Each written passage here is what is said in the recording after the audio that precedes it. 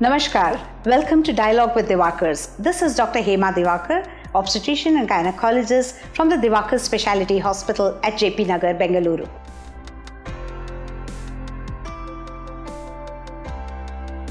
Let's talk about intrauterine insemination, abbreviated as IUI.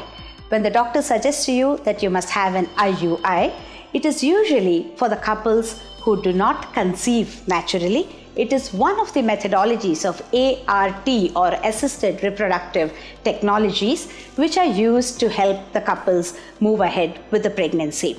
As the name itself suggests, intrauterine means it is inside of the uterus. Insemination means the semen sample is inseminated or deposited inside the uterus. This is intrauterine insemination. Why do couples need that? Well, in rare instances, when the couple cannot have a natural intercourse due to either problems with the husband's uh, performance at sexual intercourse, or if they do not conceive with the other simple methodologies tried before, then they need an IUI.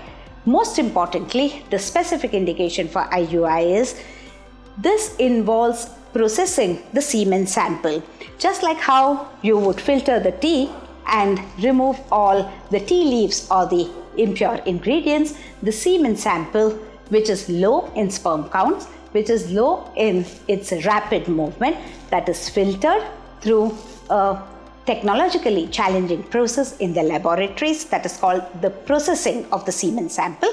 And what the processing does is it will get you a concentrate of the best quality of sperms which are fast moving and each one of them are capable of creating a pregnancy. So your chances that you may fall pregnant with the procedure of IUI if you do not naturally conceive are far higher. So this is in a nutshell what the intrauterine insemination or the IUI means.